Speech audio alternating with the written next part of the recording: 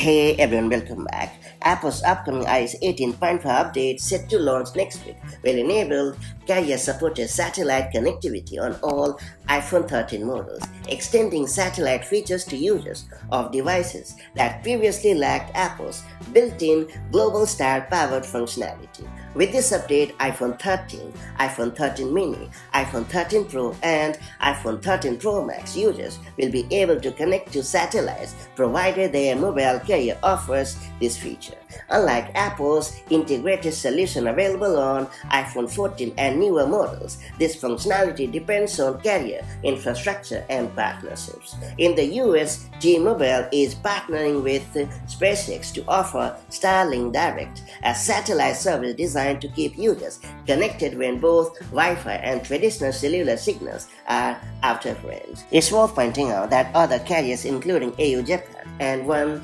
NZ New Zealand have also begun rolling out satellite-based features. Verizon is also working on a similar solution though its current satellite service does not support iPhones yet. Apple's native satellite features have been exclusive to the iPhone 14 series and newer models using Globalstar to enable emergency messaging in remote areas.